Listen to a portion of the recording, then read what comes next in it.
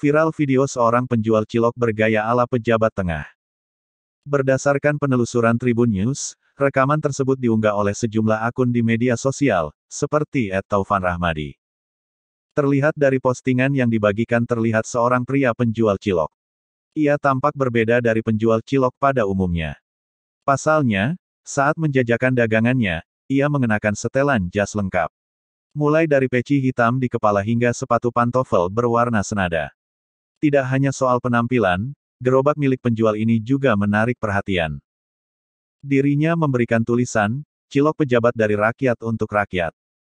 Hingga Jumat tanggal 30 Juli tahun 2021, video yang diunggah Taufan Rahmadi sudah ditonton lebih dari ratusan warganet.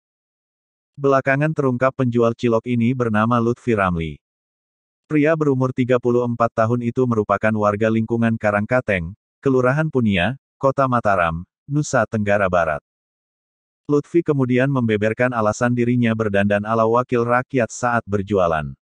Ia mengaku apa yang dilakukannya bagian dari strategi marketing. Cara ini ia lakukan untuk bagaimana menarik sebanyak mungkin pelanggan. Terlebih saat diterapkannya pemberlakuan pembatasan kegiatan masyarakat di kota Mataram. Awalnya sih karena kondisi pandemi ini, apalagi dengan PPKM darurat, pedagang kecil seperti saya kesulitan sekali mendapatkan pelanggan, kata Lutfi, Rabu, tanggal 28 Juli tahun 2021, dikutip dari Tribun Lombok.